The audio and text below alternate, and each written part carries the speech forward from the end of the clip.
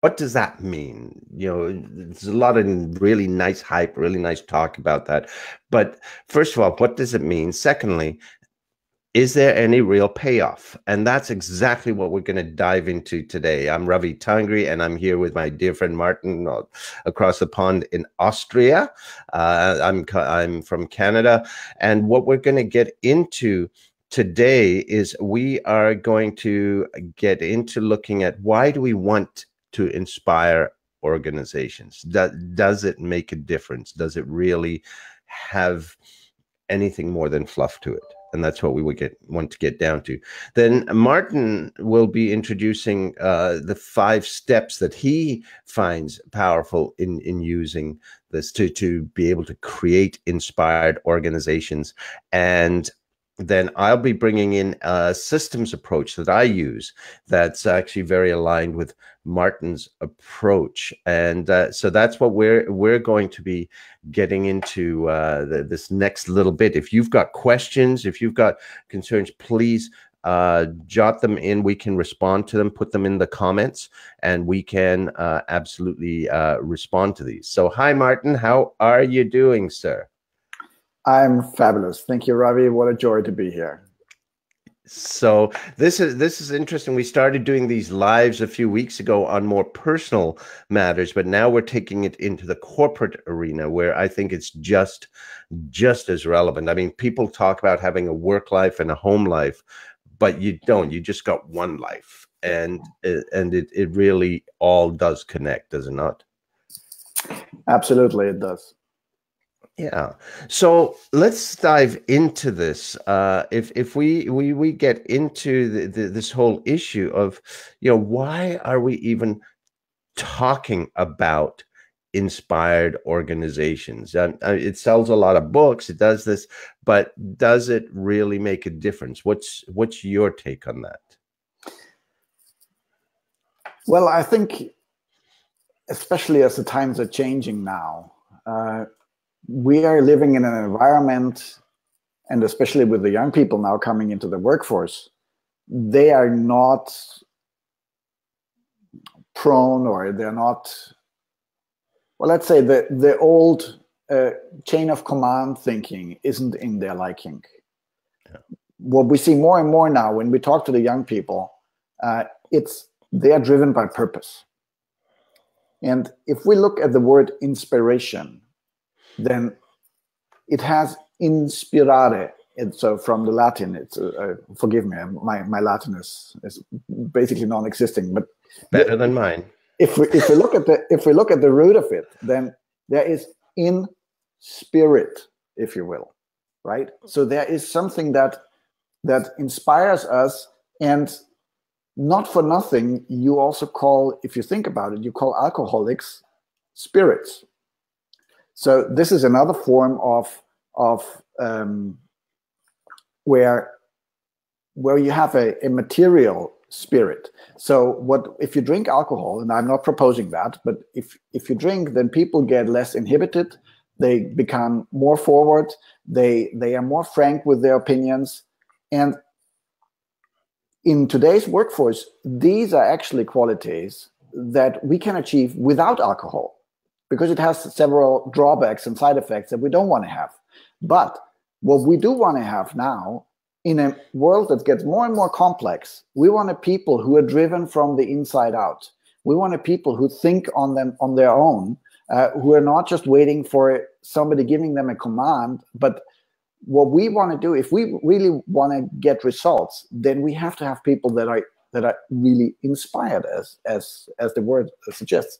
And so we want people who take initiative on their own uh, and and who think and who realize who are able to analyze a problem.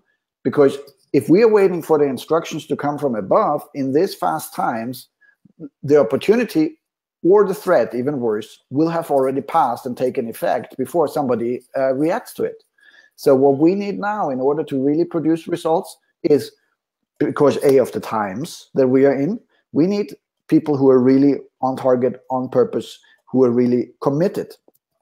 And on the other hand, the, the young people that are coming into the workforce now, they are not interested in the old model anymore. They want to have something that, that fulfills their desire to make an impact their desire to to serve a purpose to to do something that is useful that will benefit uh, the the world and which is tying into their intrinsic motivation. And we will talk maybe about this a little bit later why we need extra intrinsic instead of extrinsic motivation. Well, so this, these are just yeah. some thoughts on on this topic.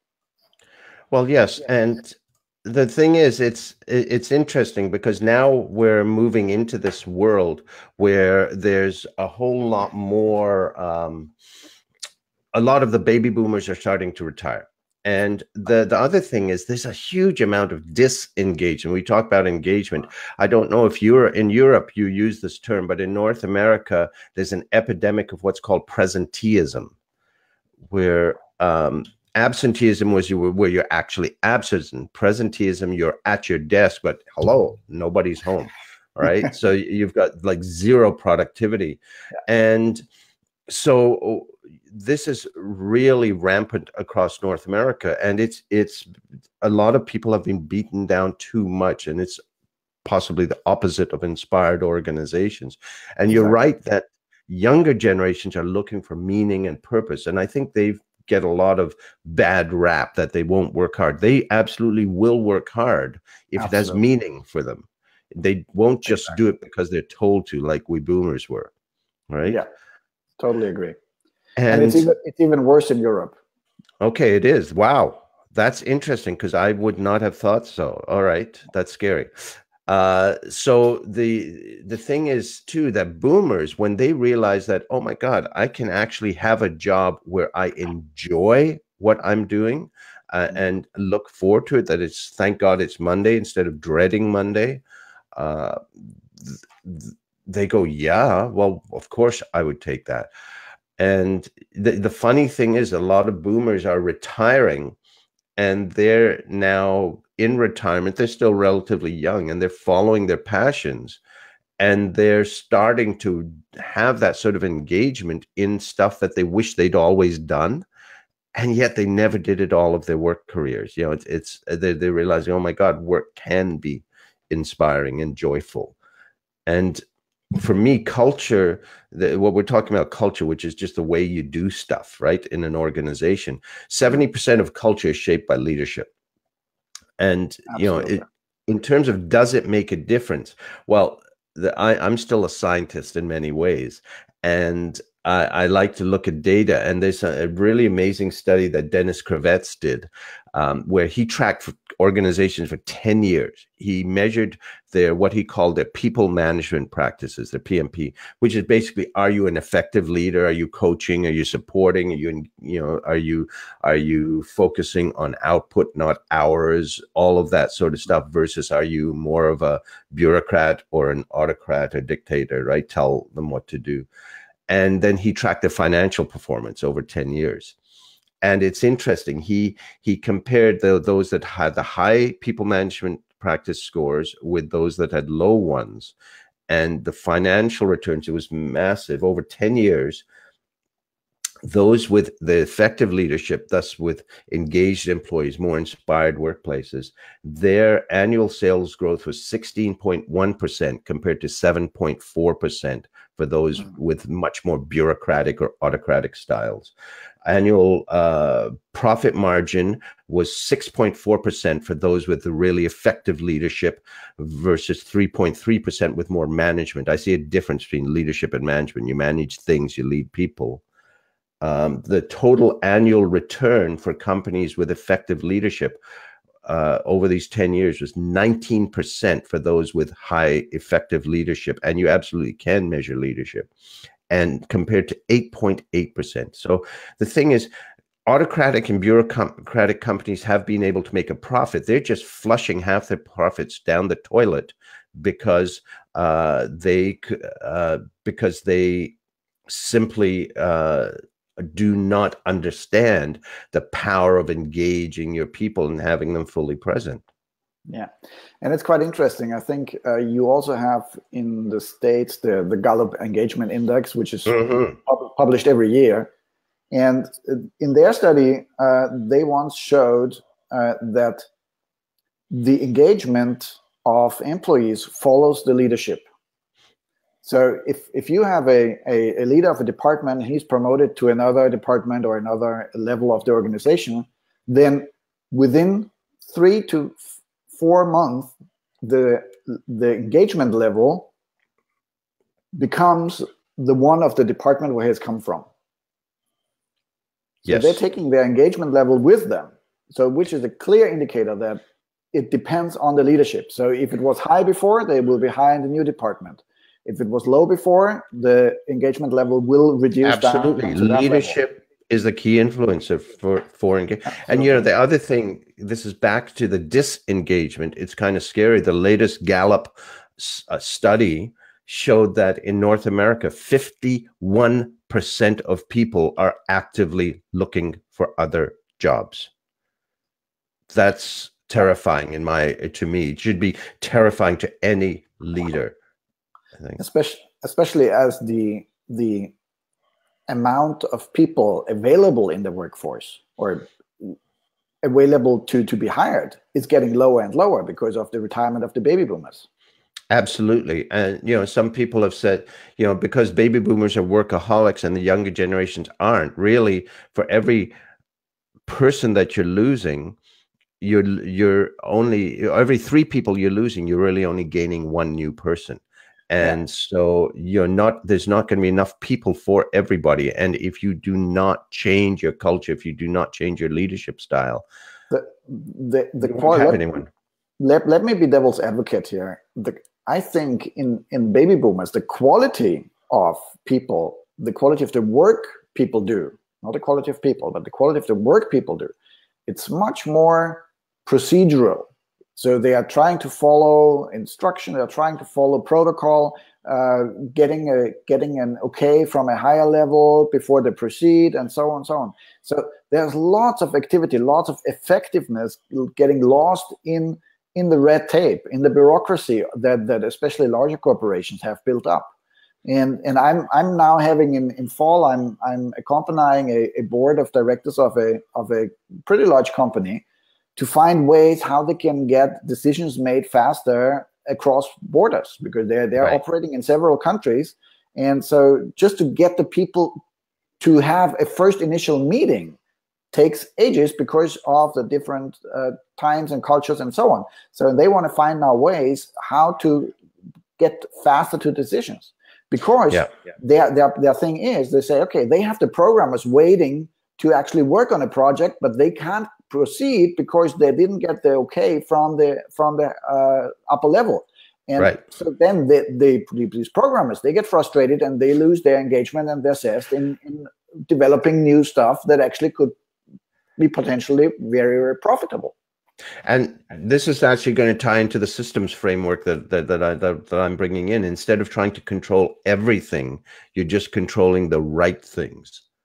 And uh, you know, it's you know it's it's i think it's a pullback or hold back to the old style management where you know management is power therefore i make all the decisions and that's an absolute total right. rock that's a that's a way in today's fast-paced society to guarantee obsolescence and obscurity for your yes. company yes and in my opinion one of the defining factors of an inspired organization is trust Yes. Trust, trust that we have established a framework that allows us to come to a decision and that when I entrust you with a project, with a task, then you know in which framework you can act independently without needing to get back to me all the time and, and go for confirmation. but that also means that we accept that there will be mistakes made. Yes. And mistakes were mistakes were always made. So it just because that we try to rule them out in in several uh, instances that we have to go through hierarchy and getting back down again uh, and then still the mistake is made uh, yeah so yeah and the thing is is it a mistake or is it a learning process and the more mistakes right. you make the more the better your people become because they're learning uh, yes. you know that there's I, I think back to I, in the 90s, I did a lot of work with the military here, and this, we we had two bases across the harbor in the city I'm in, and to get across the bridge, you needed a a token to pay, you know, to pay the toll for the bridge. That cost 75 cents. Well, I sat down and I worked out all the person hours it took to get authorization for the token how much work got held up, the the the the the, the cost of the the the different people involved, and it cost thirty eight dollars and forty two cents to get authorization for a seventy five cent token because some turkey, one turkey years ago abused it, and therefore there was all sorts of a kerfuffle. So because they had no ability to really lead, they only managed, they wanted to control everything. They put down all of these controls and they wind up costing 50 times as much every time they use it. You could let 50 people abuse it and still be ahead. Save but money. because they don't understand they're trying to control people and you can't control people you control the systems to keep people moving in the same direction to incentivize them the right way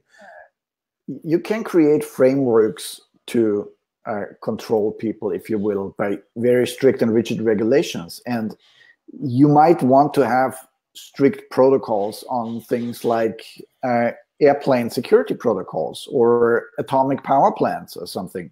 That really want to make sure that you double check and triple check everything that you're doing. Yes, please.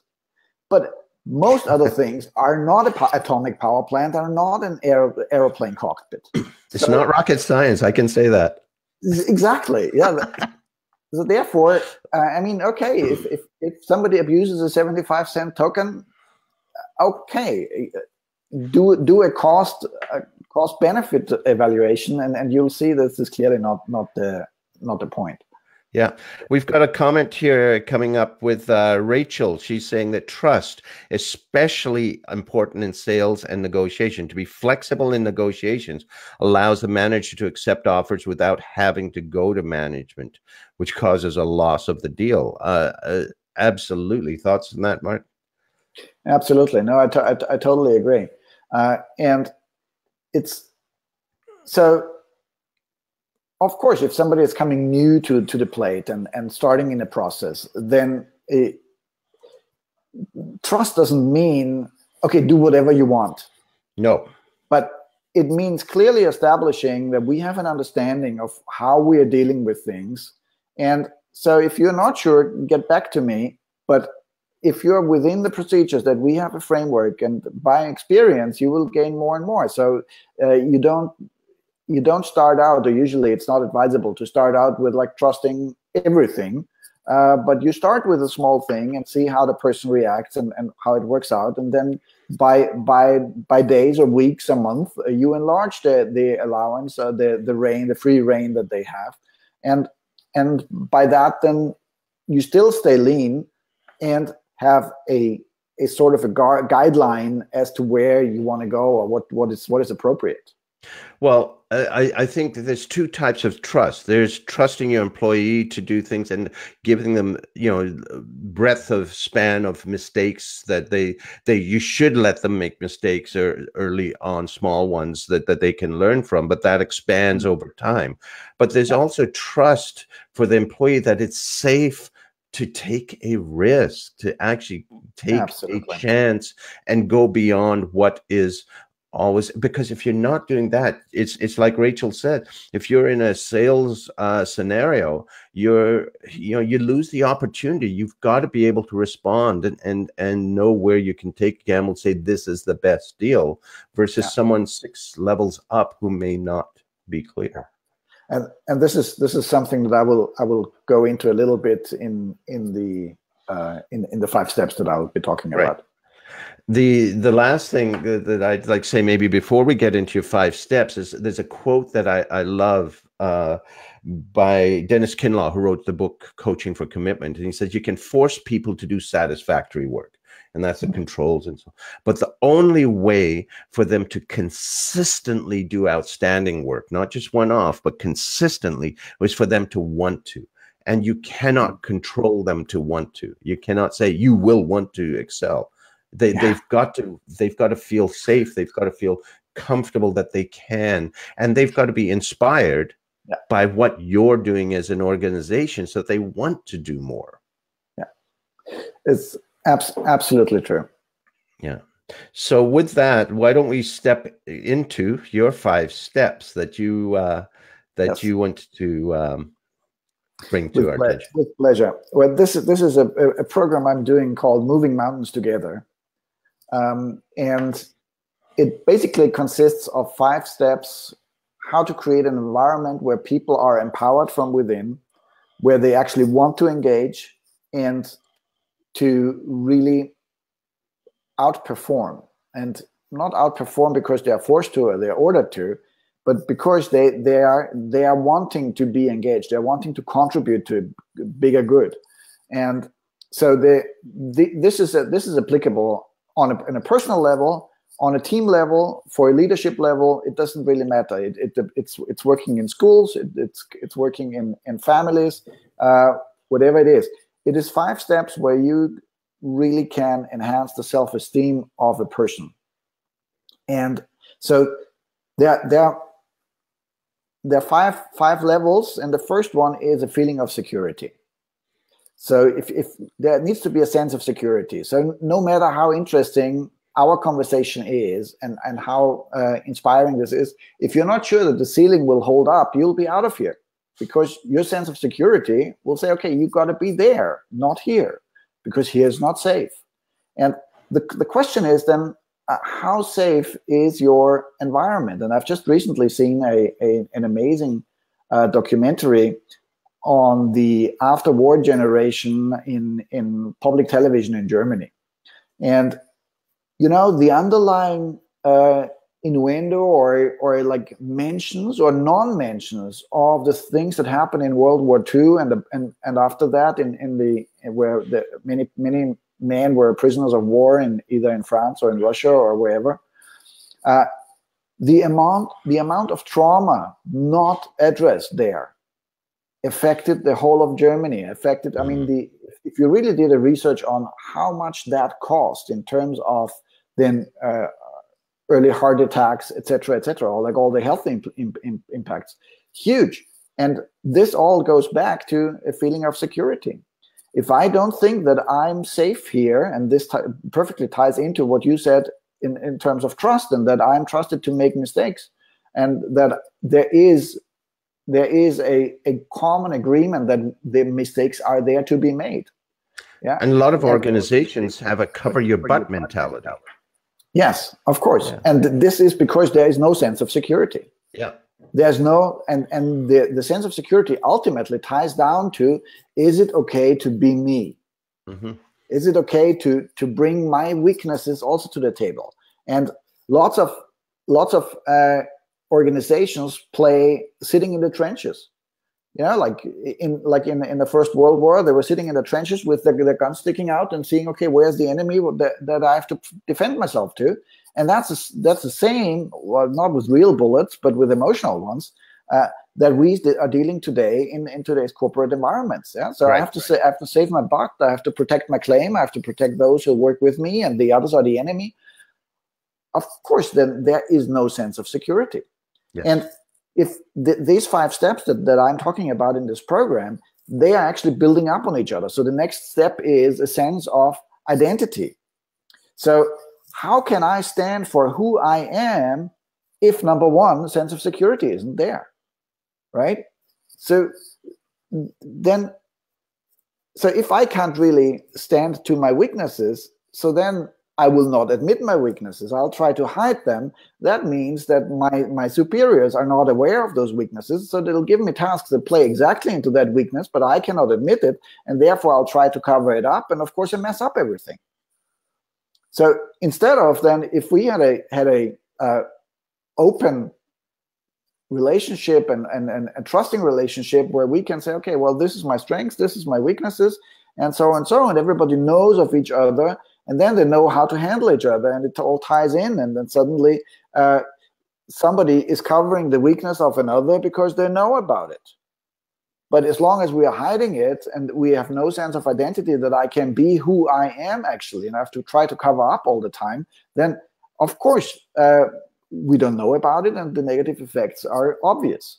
Right. So and step three is then that we have a sense of belonging So I can, only if I know who I am and I can stand for what I am and what my weaknesses, what my strengths is, and all the personality that I am, then I can decide actually who do I want to be with, who is the who is my peeps, so to say, and uh, how do I want to tie in. And the funny thing is, actually, we've seen that street gangs fulfill all those five steps perfectly.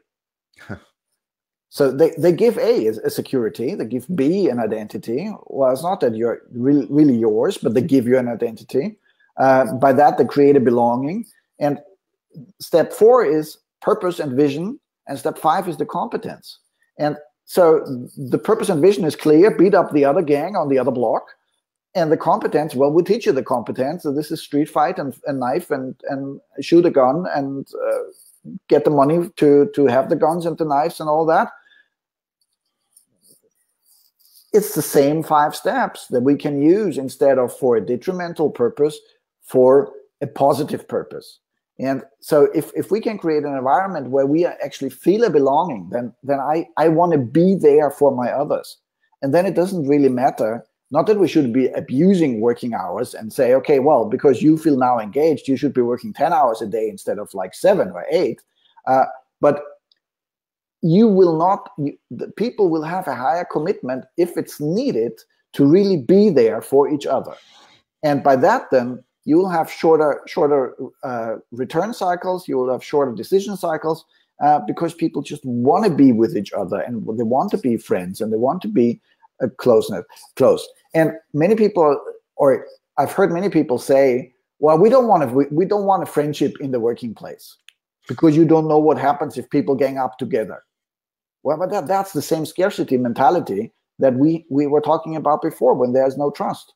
And it's ironic people, when you spend more time with those people at work than you do with anybody else in your life.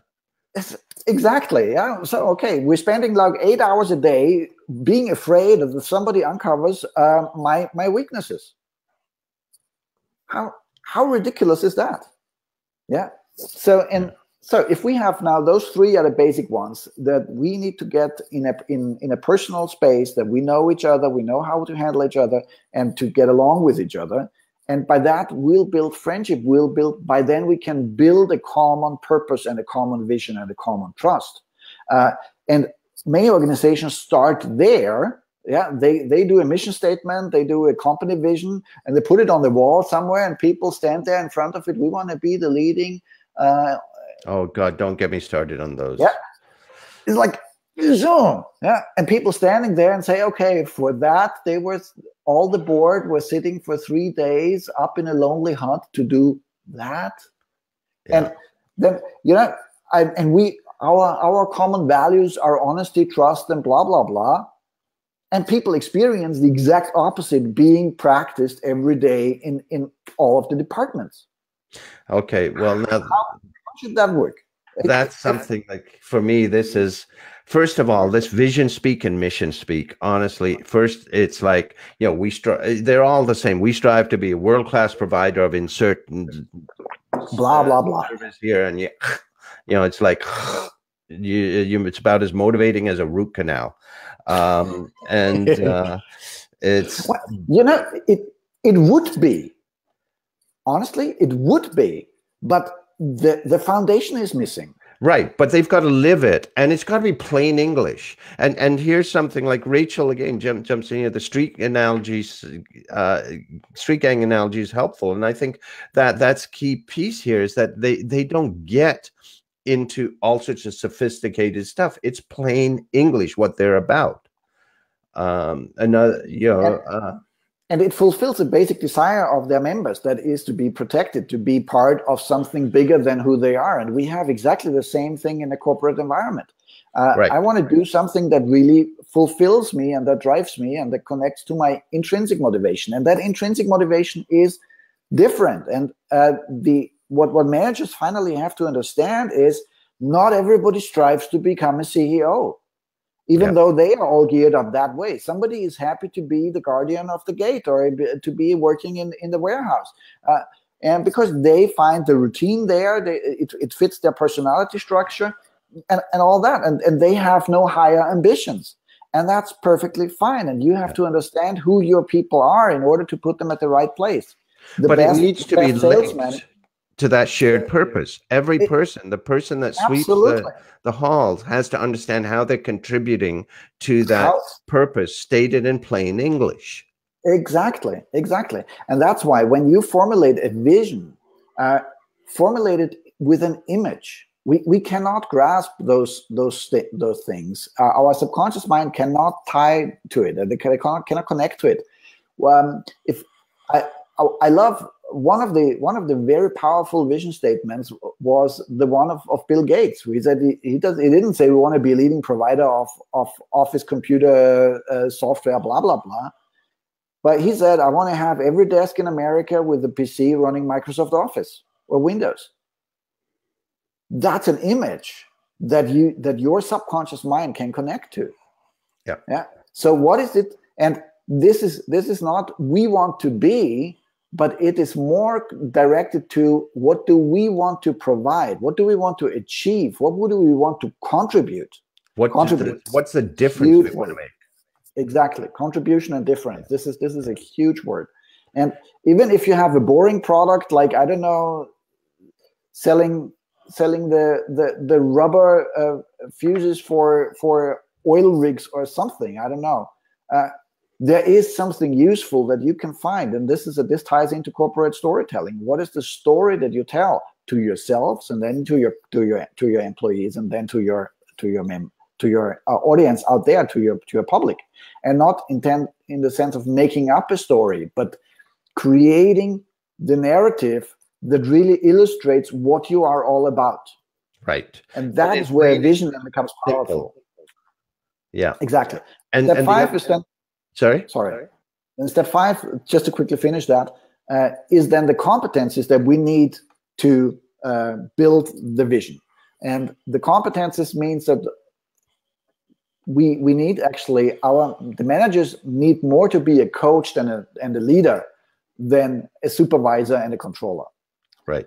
And uh, in the in that sense, it's I I always say, okay, hire please for character, not for talent.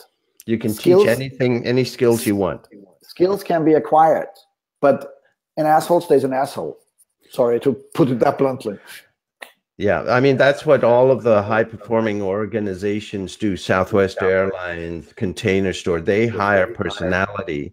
They can teach you what they need. Absolutely. And with those five steps, we can develop a program to really look at what what you're doing and how you're doing that. And uh, then of course, each of the five steps has certain aspects to that to implement to look at your your practical uh, situation in an organization, how to do it. There, there are many, many, many things that are, that I can't cover here in this overview. But yeah. that's the ba- that's the basic idea. And what it leads to is that people who are in self-esteem, who are actually uh, living up with their full potential, they're showing up fully, they're they're they're committed, they they want to make a contribution, and they are inspired. And the, the only other thing I want to say before we move forward is the what you said about the values or the principles uh, oh, that uh, they need to it's it's not it shouldn't be the sort of thing that uh, people roll their eyes at it, has got to first of all it's got to be traded translated into specific behaviors. So you know you may say you believe in integrity i may say i believe in integrity but we tick each other off because the definitions we've got in our heads are different. So when i'm working with an organization on that it's it's uh you know we we we say okay what are the behaviors we would see mm. that would show you're living that. So we all have an right. objective measure. And then there's got to be a culture where the, you know, without putting any val this not putting any value statement in but just uh, illustrated the person who's at the bottom of the org chart can call the president ceo on on it and say you know what you when you did that i don't believe you were living the values and then you can have a conversation about that that you've got to be in that open arena where it's you know so people aren't just rolling their eyes they can say okay this is what's expected of us now we can have a conversation when we think it's not happening and as you continue that conversation they become living values and continue right and and everybody, as you say, even the president, they have to be accountable for this. Oh, let's not go there. yeah, yeah. sorry, wrong one, president. Yeah, well, uh, okay. Uh, one one thought about this still is when you choose your core values for your organizations, choose carefully. Yes. Because a core value, in my opinion, must be inviolable. You, it must be there is no way that you can violate that core value, and right. that's why I would I would mm, strongly uh, or I'm concerned if if an organization has the core value honesty,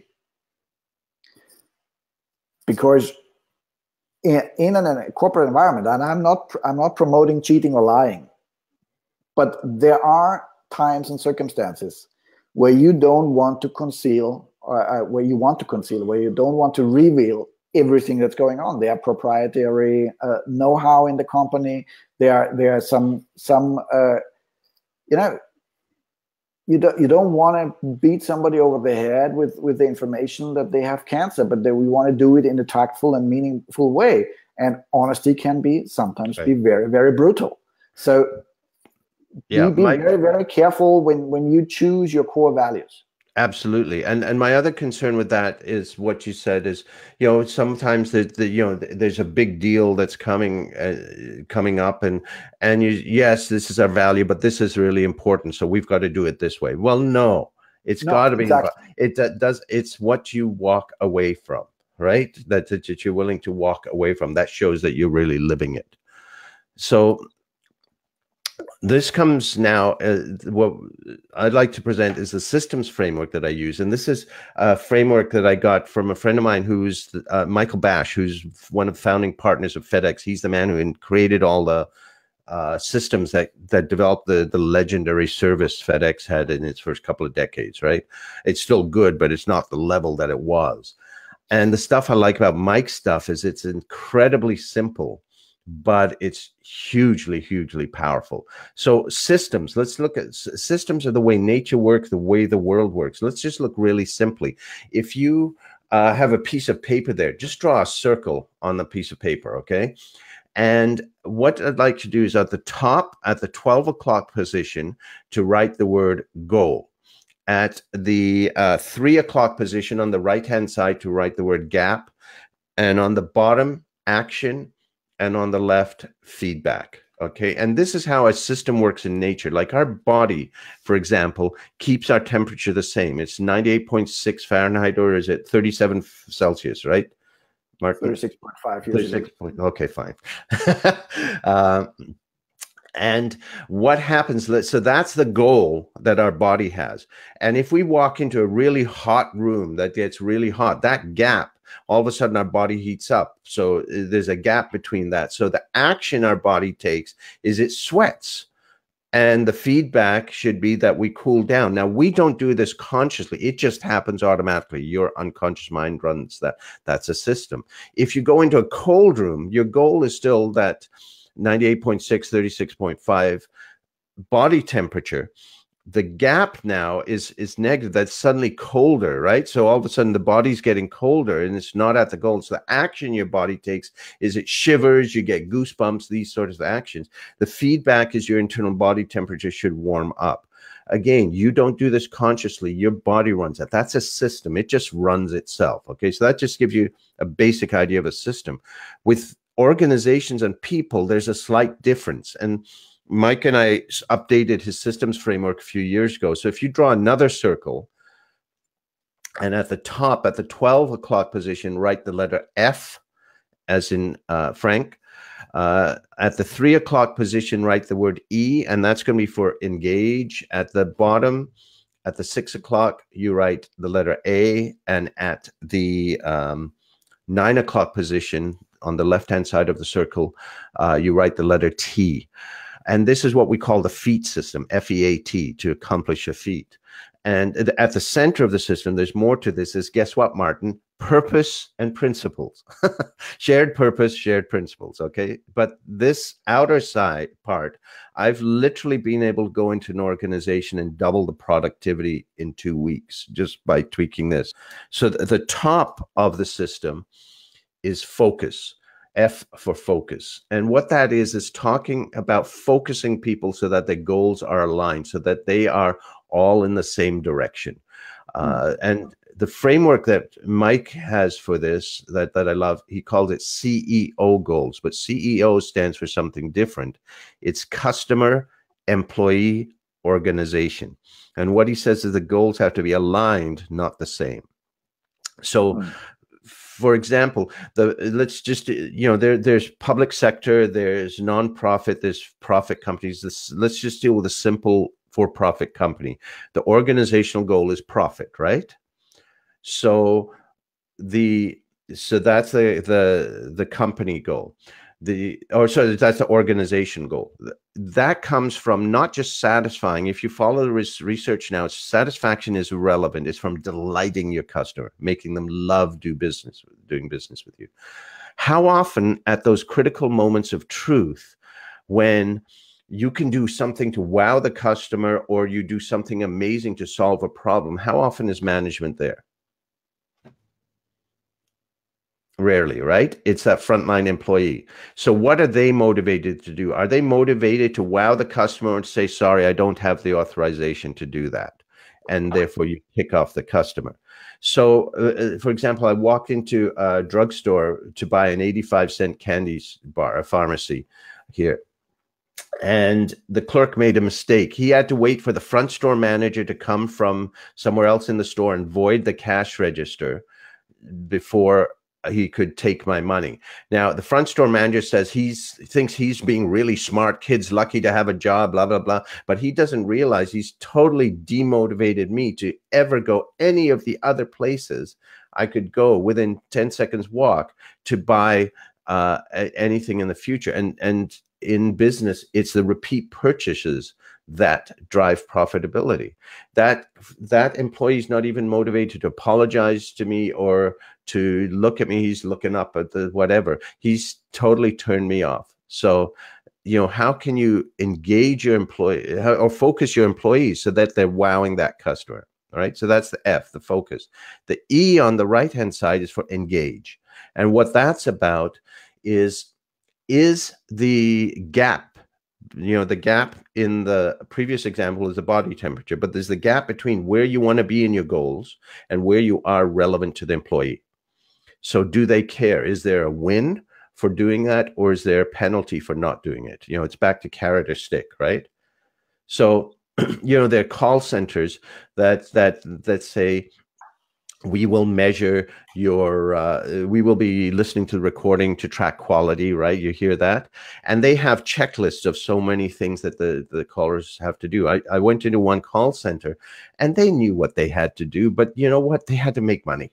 So they were just pushing through and they were getting like 40 50% quality ratings. And so that it wasn't a matter of knowing. They knew it. So i made one simple change. I multiplied the salary for the week by the average quality rating all of a sudden it went from 40 50% to 98 99% quality because it became relevant you know you engage so now they have a win the feedback the f at the um, nine o'clock on the left hand side is feedback. And it doesn't matter what your job is, how can you simplify what you do uh, to three to five things you keep on track? It's a 2080 rule. You keep those three to five things on track, you will be successful. You, you could measure a thousand things, but it's not going to be relevant, right? So, how can you distill that down? And then, how can you measure it daily? simple frameworks for measuring it daily right and um, the, for example i said the delighting a customer uh, you know a framework we've used is we've done you can do this electronically. I've seen it in a lot of organizations now but we've also done it physically that at the door to a store when people leave there are five tubes with a slot in each and then when they finish their service encounter they're given a poker chip. On one end of the the slots of the tubes is a frowny face on the other end is a happy face and they drop that poker chip in the slot that describes how they felt about that service encounter so the one thing that's going to define repurchase so you have a daily measure of how it's done Now, I've seen that sort of thing happening in a lot of bathrooms in airports, and I'm sorry, you need to think this through. I am not going to touch any button in the bathroom. Uh, it's a great system, but you got to find another way to do it. Okay. I wonder why.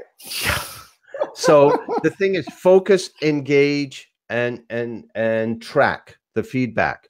Um, the bottom of that is action and that's the one we stay away from but that's where most people go that's where people write policy manuals and the more you you try to control people the more they're going to slip through your fingers and you're going to grow inefficiencies and, and i realize people work in bureaucratic organizations but the more you can avoid going to action and the more you can align the goals, engage them by making the gap relevant, and track the right thing so that they know now to take the right action, the more you free them up to do what it takes to move the organization in the right direction. So that's the uh, the basic systems framework that I use when I go into mm-hmm. an organization.